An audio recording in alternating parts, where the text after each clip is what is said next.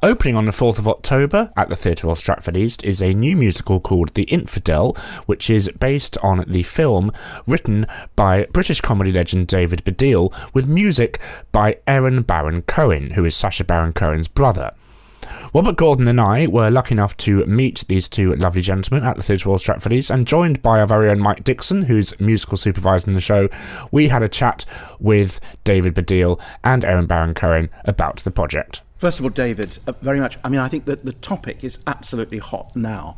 I think it's a brilliant idea. I didn't see the film, but I've read a lot about it, and it sounded like a very interesting film. But I think now what you've got is a red hot topic. Mm. And I think, particularly for the kind of audience that you'll initially have at Stratford East, this is a really interesting subject and mm. something that needs to be aired. Mm. Can you talk about a little bit about that and, and how, you know, what, what you feel about the importance of this particular subject for a musical? Again, unusual yeah, sure. for a musical. Yeah. Um, well, you know, events as they exist in the world, we have no control over. So it would be a lie for me to say, you know, I wrote the film in 2010, knowing that three years later all that stuff would have got even hotter and even more topical, and thus the time was right for a musical. But that is what's happened. Um, you know, one of the things about rebooting uh, a story, because you know the film came about partly itself uh, as a response from me to realizing that those two cultures, Muslim and Jew, just to explain to anyone who doesn't know, the infidel is a story about a Muslim who discovers that he was adopted and actually born a Jew, uh, and who becomes horrified by this and kind of comically uh, takes his life apart and then puts it back together as a result of this, and two communities end up at war as uh, around this man. That's really what the story is. Um, but it all happens in London. It all happens just in sort of East London. Uh, anyway, my point being that. Um, those two communities, had I noticed, become polarized in a way that they weren't when I was growing up. Mm-hmm. When I was growing up, Muslim and Jew were not seen as kind of polar opposites, particularly Arab and Jew perhaps in the Middle East, but certainly not worldwide or in Britain or whatever. Uh, and whilst that is obviously a bad thing, uh, there's something that it allowed for me, which was to do essentially a body swap culture clash story because once you've got polar opposites, you can do a thing like in Freaky Friday or in Big, but more zeitgeisty, which is to take Muslim and Jew and say what would happen if these two things are forced together uh, as they are in the body of our sort of central character, which is Mahmoud. Um, and uh, and then so the film happened, and the film was great and got released in 42 countries and caused quite a lot of controversy. But then when the idea of it being a musical But it was, if I may interrupt, it was quite successful in many Arab countries, wasn't it, the, the film? Well, that's an uh, interesting okay. question. It was successful, very successful on the black market in Arab countries. In fact, right. didn't get a, a release in uh, eventually. It got, it got bought for Middle East cinemas very quickly and then banned by censors in Dubai. And now there's a huge, uh, and sadly no, not financially uh, useful for me, uh, or indeed Aaron as the composer of the movie, uh, market for it in the Middle East in on the black market. Um, but no, lots of, it was very, very popular and remains very popular with Muslim audiences. That film, um, and lots of reasons for that. But well, let's talk about the reason for that, which still relates to the, to the musical. Which I think the reason for that is that Muslims were not being portrayed, and I would still argue, and generally not being portrayed uh, as ordinary British people. They're, they're portrayed. There was a, a, for example, a drama by Peter Kosminsky that came out just before I wrote The Infidel, uh, which is called Britz, and which had uh, a brother and sister in it. One of whom is a suicide bomber, and the other works for MI6. And I remember thinking that's leaving out a huge spectrum of humanity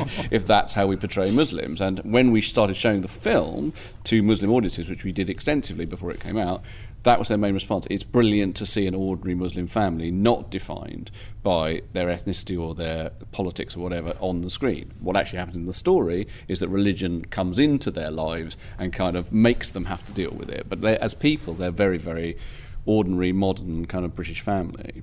So I think when the idea was mooted that it should be a musical, I went with that you know, and it's always a lie to say I knew what I was doing. I didn't know what I was doing. I just thought that was interesting to be a musical. I now think one reason why it really suits a musical is it's a story, which quite a lot of musicals are really, about a man who's very certain of his life and whose life then becomes dizzy and weird and he can't control it anymore. And Fiddler on the Roof is a bit like that. Jesus Christ Superstar is a bit like that. You know, things happen to these central figures who sort of feel like they knew who they were, and then suddenly they. And someone once said to me that you shouldn't do a musical unless there are points in the story where it makes no more sense for the characters to speak anymore. They have to burst into song.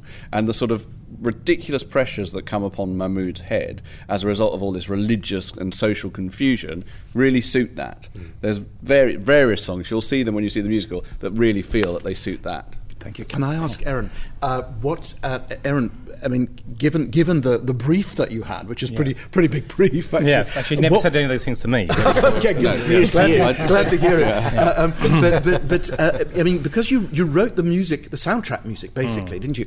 Um, what was the difference between you know coming from writing the, the soundtrack of the film and then having to musicalize and ac- actually write music for songs? Did you take themes from the film and put them into new? Not really. I mean, it, for me, it was a. I thought the the film was great, but the idea of doing a musical and singing about being a Muslim, being a Jew, and being confused and all, and you know, put a fatwa on it, which, which was mm. one of the songs we did, and we have a, a, song, a song called "Sexy Burqa."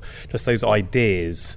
I felt it was a great opportunity to make something that was uh, even more emotional and funnier than, than the movie in some ways. It, it's really a different project completely. And Mike was singing your, literally singing your praises as we met, saying that you've gone ska and stuff. You were saying hardly any. There's no, there's no, uh, there's no instant music. Yeah. There's no, there's there's touches, occasional yeah. touches, but it's it's not it's not at all ethnic. Okay. The music, it, it's uh, well, the, the, music, there are ethnic themes. There's ethnic touches. I mean, I, when I, when I, I should say when I, you know, one, the key if I could talk about Erran for a minute, the key. Please for, do. I will. Uh, uh, the key. the key for me, uh, in a way, when when producers, the producers of this were, were, saying to me, it would be good to be a musical, and I thought, well, the key to that is finding the music. Mm-hmm. Um, and I uh, wasn't sure about Erran because uh, he's nuts, and also because uh, also because he, he's a film composer. That is totally Erran's background, and I've done the music for the film, but obviously for uh, Borat and Bruno and all those things, and so I thought, well, that's not, I'm not sure that's going to work. And then I wrote a batch of lyrics for a song called "I'm a Muslim," which is the opening song, in fact. Uh, about, and, and I took it to, to him, and within about an hour, I thought, oh, he's got an incredible kind of melodic songwriting ear, which he probably hasn't known about himself because he's only written film. I did. No, I don't think you did. I think you basically. this isn't music. No, I did. I did. You, you wasted the first half of your life. Yeah, yeah, yeah, yeah. No, I do have. I, I have written many songs. In fact, for four movies that I've written the score, including for uh, the, the, theme in Borat, the, the Kazakhstani anthem. Uh, there's a big song in Bruno that I wrote. And yeah, also, a I also have a previous uh, career where I was signed to Mars Copenhagen label with a, an album and writing many songs, but yeah. Dave didn't realise that. No, but um, but I'd never written a musical, and that's true. And, and it was a great opportunity to. But in terms of what you were saying about what is the music, I I like. Uh, I do like Jesus Christ Superstar. Mm. I like without going about really. I like Godspell. I like I like Wicked. I like I, I really I like musicals that are essentially pop rock operas to some extent. Um, and I wanted to hear that. I wanted to hear a musical with lots and lots of incredibly catchy joyful or sad or whatever songs that you immediately went for, actually not a musical where you thought, oh, there's a lot of very serious cod opera in this. Mm. I don't like those sort of but, musicals. But you're musical yourself, aren't you? I am, yeah. Did you? He's, that's what he thinks. Yeah. Did you ever consider doing the music yourself, no, or no, you always wanted no, someone else? And do you no, offer? No, but I think the way we work it helps that I'm a little bit musical yeah. because when I write the lyrics, I always have a kind of rhythm and sort of half idea in my head, which I then work on with him, and then he makes it into a song. Uh, you know, yeah, we've always started with the lyrics yeah. or, or, the idea of um, yeah. what the what the, what the song should be about, and yeah. then very quickly we work out what the di- musical direction will be. Yeah, sort of kind of yeah. We, we collaborate on the musical direction, on the, on the, musical style of the song and what kind of song. And I talked to mm. like put a fatwa on it, for example. I said I think this should be a ska song yeah. because I had this lyric, put a fatwa on it, put a fatwa on it, put a fatty, fatty, fatty, fatty fatwa on it, which related in my own mind to "Lip Up Fatty" by Bad Manners, a song you may or may not know. yeah, right. right. One, yeah. Uh, and I think I played you "Lip Up Fatty" by Bad but Manners. It's always uh, good to have kind of other songs to take pay homage to and yeah yeah like yeah. Well there's quite a lot it's of always good to, to, to reference. It's, when you start to write anything you need to start somewhere. It's yeah. great to if you have a, some idea it may be completely the wrong idea but at least it's a start that you decide doesn't work or it works and you go but interestingly enough I think that although there's quite a lot of different styles in it there's ska there's funk there's pure pop there's quite big kind of rock and roll in it as well something about the way Erran writes, which feels to me like it doesn't sound like a whole different patchwork of songs. Yeah. There's, you can hear his melodic thing throughout, which I, I, I have to say you know, and I, I hate blowing too much smoke up his ass, But the one thing that I don't uh, fine. you know, and, and you know, hey, it's funny, and you know, that's mainly me. Uh, but but the one thing that people have taken away from these workshops, I think, I know what you think, Mike, is they come away thinking, I cannot stop hearing these songs in my They head. they're- They're- they're they are absolutely- unbelievably catchy and You, you'll get beautiful. earworms. Absolutely, you'll get earworms from the songs. Also, you will see that there is a complete voice. And, and shut up a second, Erran. But but you I do haven't said have much. I'm just leaving one of you the- guys. No, and actually, no, no, one of the things one of the things that will become apparent when you see the show is that although there are lots of different styles, it doesn't feel like lots of different composers. It feels like one Yeah, composer. it totally does. That's so unusual. and that is really And, and, and are we bringing themes back and all that kind of Yeah, fun yeah. stuff? Oh, Yes, yeah, there is. yeah, yeah, Yeah. Themes But are brought back. I mean, it has a slight. It's sort. I mean, it's totally a musical uh, with talking in But between. It's not a sung through musical, but it has slight elements of that to it. We do bring back themes, and actually, by the end, the end scene by the is- end scene, it becomes a sung through musical. we we But- bring back all the, uh, many Yeah. of the themes. Yeah. I, I'm going to, you know, thump, thump my own tub here, but, but, but uh, you know, for me, this is very important as a British musical because we, so much of the West End now is dominated by American musicals, and they're not always that good. I mean, I won't mention the ones I, I don't think are that good, but they're not always that good. And for example, Chorus Line closed very, very quickly, and everybody thought it was going to run for years. Well, why would it now run for years? You know, when you're reviving something that was a great success 25 years ago, why bother now and why bother in Britain? And I think it's a it's a pity. I think that I can't sing didn't succeed because I thought it was quite a fun show. I think there may have been th- things Yeah, wrong with were- it. it was a fun show. Uh, it- you know, and it, and it was worth it was worth more than some of the formulaic musical comedies that we have from Broadway. But what you're writing is a is a British show with a with a, a really British subject, which is daring subject matter, and it's a musical with all the values that you guys are talking about. That it's tuneful, that it's funny, that it's moving. Um, is there? Are you in any way aware of being part of a more exploratory? Tradition now of British musicals that might be moving somewhere in future, or uh, probably you don't think that way when No you start pressure to writing. answer that. But well, I don't, Yeah. I don't know. But I think to be honest, is. I don't know that much about musicals. Yeah, we is both the we, truth. we both it's our first musical, so we don't come from this sort We of. don't come from that that, tradition. that, Yeah, that side David, you're a, you're, you're a comic writer, Yeah. and so you're always dealing with satire. You're always Yeah. dealing with what's going on today in society, aren't you? Yes, And- but actually, from that point of view, that's in a way why I.